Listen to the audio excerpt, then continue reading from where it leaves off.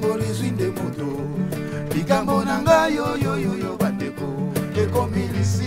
Amigas y amigos de BTV, bienvenidos a la República Democrática del Congo. Hemos llegado hasta aquí en el cambio del contingente del Ejército Nacional Uruguayo que está desplegado en las misiones de paz de Naciones Unidas. Hemos visitado la base de Goma, su principal, donde hay la mayor cantidad de efectivos, la base de Quichanga y la de Pinga, y la vamos a ir repasando a lo largo de todo este programa. Pero no solamente el Ejército está aquí desplegado en cuanto a misiones de paz para la protección de los civiles, también hay un gran trabajo solidario, un gran trabajo social, y se lo vamos a ir mostrando a lo largo también de estos próximos 60 minutos. En un país con una controversia muy interesante, es un país muy rico en minerales, es un país geográficamente muy interesante, pero a su vez es un país con mucha miseria y con mucha pobreza para gran parte de su población. Les damos la bienvenida a la República Democrática del Congo.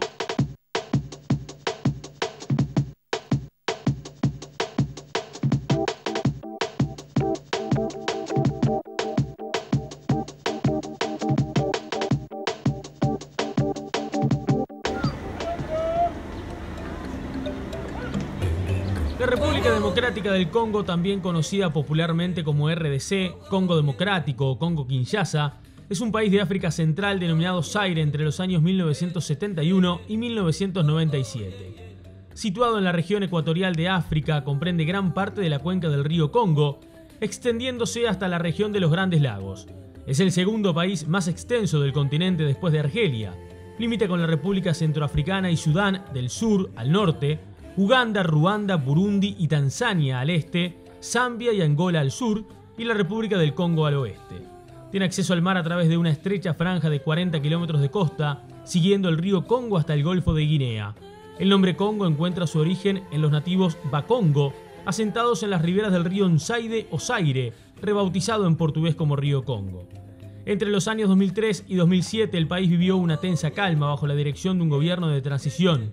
A fines de 2006 hubo comicios en los que se resultó electo para presidente Joseph Kabila, quien hasta entonces ejerce las funciones interinamente. Este 2015 será un año particular desde este punto de vista, ya que se comenzará a realizar los distintos comicios previstos para las elecciones de presidente, senadores, diputados y alcaldes, que van a culminar en noviembre de 2016.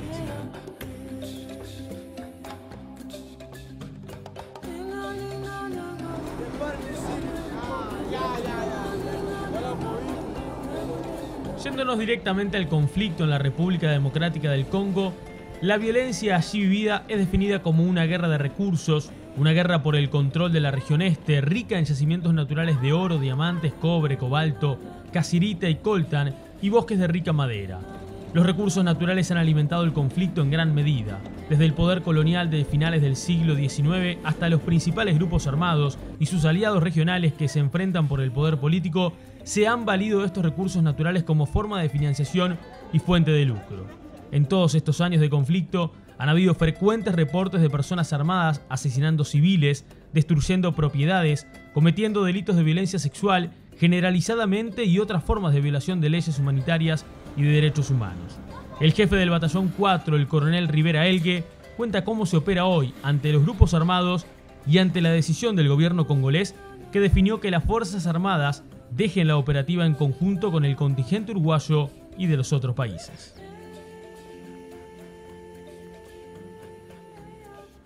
A partir de este año, en febrero, cuando el gobierno determinó iniciar las acciones en forma unilateral contra el, la, la, Fuerza Democrática de Liberación de Ruanda, el, el FDLR, que son ruandeses hutus que participaron en, en, el genocidio. A partir de ahí, este, las relaciones en nuestra, en nuestra área de operaciones quedó cortada, o sea, no tenemos ningún relacionamiento con, con la, la Fuerza Armada de, de, Congo, sí con la Policía Nacional. ¿Eso ha perjudicado de alguna manera la, la, la misión que tiene el contingente? Y bueno, sí, y perjudica porque no tener un contacto con uno de los actores principales y con una de las fuerzas que están presentes y desarrollando operaciones nos, nos limita nuestro accionar y nos también nos, nos, hace perder un, una visión completa de lo que está pasando porque no tenemos la capacidad de, de estar en todas partes. En territorio congoleño son muchos los grupos armados, pero los principales y más numerosos son tres el FDLR, oriundo de Ruanda, el RA y el ADF, a quien se lo vincula con grupos islamistas. El trabajo del batallón Uruguay en la actualidad es muy reconocido por la MONUSCO y los habitantes locales. El coronel Elie destaca lo positivo que eso implica para el desarrollo de la misión. Se trabaja en distintas áreas, no solo en la parte de los orfanatos, no solo en, la parte de, los, proyectos de rápido impacto, sino que también, ustedes lo habrán visto en Pinga o y en Quichanga, un relacionamiento cercano con todas las autoridades eh, tradicionales, los jefes de villa. Ese relacionamiento estrecho nos permite eh, tratar de mejorar las condiciones de vida de la gente.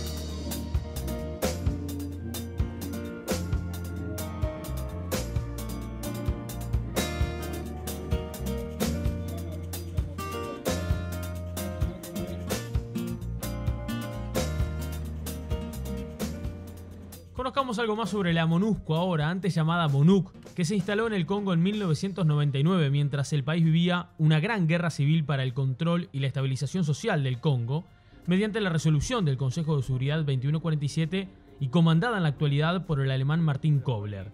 Daniel Ruiz, jefe político de la misión ONU en la región de Nord Kivu y con el cual tuvimos la oportunidad de entrevistarnos en nuestra estadía, nos acerca su visión de lo necesario que significa la permanencia de la misión. Pienso que aún eh, MONUSCO es necesaria en este país eh, con los cambios eh, pertinentes, a lo mejor con un énfasis mayor en luchar contra los tráficos ilícitos de recursos naturales que son los que están financiando eh, a, estas milicias. Eh, no solo las están financiando, sino que en algunos casos claramente son el motivo o la causa que les, eh, que les impulsa a, a seguir activa.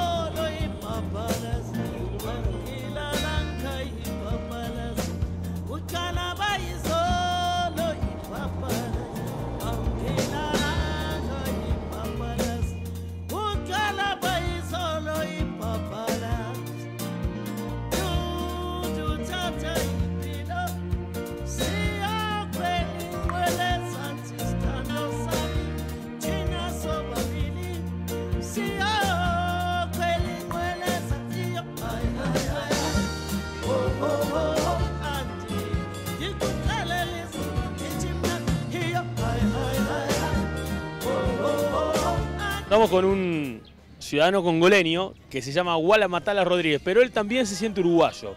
Wallace, muchas gracias por atendernos. Contanos por qué te sentís uruguayo también. Porque yo empezó, eh, yo empezó con los uruguayos bien y mejor, como siempre, de 2002 hasta hoy estoy con los uruguayos. Me agarra como, como uno humanitario y me agarra como, como una persona, no me trata como animales, como los otros contingentes, se trata a la gente como animales, pero a mí los uruguayos me trata como gente y como una persona. Sos hincha de Nacional en el fútbol allá en Uruguay porque justamente te pagó la escuela, eh, días como tú decías, y bueno, y, a partir de ahí pudiste terminar tu, carrera de, educación, digamos. A partir de ahí terminó mi carrera de, de la escuela y yo veo con los uruguayos mi vida se adelanta. A mí siempre me llama 50% uruguayo, 50% congolés. Vivo con los uruguayos, con los uruguayos. Tengo comportamiento como los uruguayos y también toma mate. Tengo todo equipo de mate en la casa. ¿Te gusta el mate? Me gusta como siempre, mate dulce, mate, ¿cómo se llama? amargo. Todo me gusta. Pero mi sueño es de ir en Uruguay un día a visitar todos los uruguayos y a visitar mi querido club nacional bolso. Lo que me van a ver también, que sea niño, que sea grande, por todo lo que me van a ver, muchas gracias. Muchas gracias al presidente de Bolso, muchas gracias al Chino Recoba, siempre le vean el televisor.